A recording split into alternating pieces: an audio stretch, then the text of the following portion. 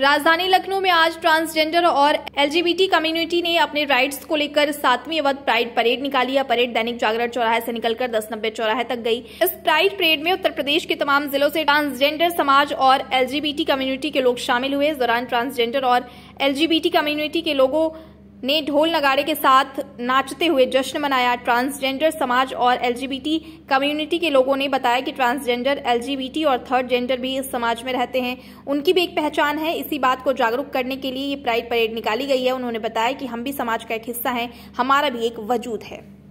बहुत बहुत शुक्रिया आपका। मैं प्रियंका सिंह और आज हम सभी लोग इकट्ठा हुए हैं हजरतगंज दैनिक जागरण चौराहे के पास जस्ट बिकॉज़ एल राइट्स और ट्रांसजेंडर राइट्स के लिए।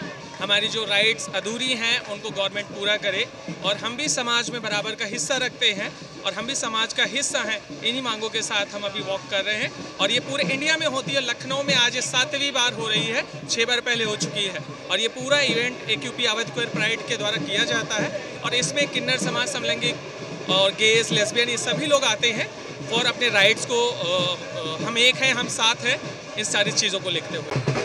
राइट का मकसद तो बस यही है कि हम लोगों के सामने जागरूकता ला सकें कि हम एग्जिस्ट करते हैं इस दुनिया में। हम कहीं बाहर से नहीं आए हैं और हम यही हैं। हम आप ही के जैसे इंसान हैं। साधारण कुछ रहना चाहते हैं, अपने अधिकार पाना चाहते हैं।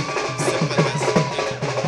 I mean so just to support people and just to support them to come out that we are we are so welcoming to you you are no not at all different in any ways than us you we all are equal we all are same so just being an ally just supporting them. ये आ, हमारे L G B T Q I A rights के बारे में awareness फैलाने के लिए है। जितने भी हमारे लेस्बियन गे ट्रांसजेंडर और अदर जेंडर होते हैं apart from males and females इनके बारे में अवेयरनेस फैलाने के लिए है। और हम लोग गलप लखनऊ एक हमारी ऑर्गेनाइजेशन है। हम लोग उसके पार्ट उसके मेंबर्स हैं और हम लोगों ने इनके साथ कोलाबोरेट किया है इस परेड में।